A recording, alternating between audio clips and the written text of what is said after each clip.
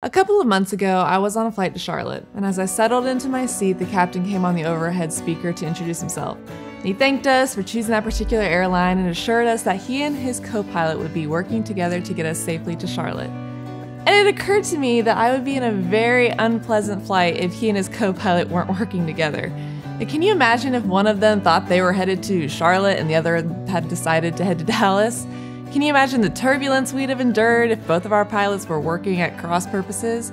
And can you imagine how much longer it would have taken us to get to Charlotte? And what are the odds that we'd actually get there safely? I want my pilots to be on the same page, headed in the same direction before the flight even takes off. Do you know what causes a lot of turbulence in marriage? Money. It's often cited as a top cause of conflict in marriage, and it's often given as a reason for divorce.